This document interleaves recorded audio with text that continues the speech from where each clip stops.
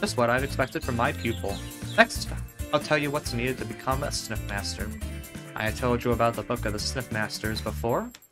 Do you remember? E yeah. Good. It's gonna be easy.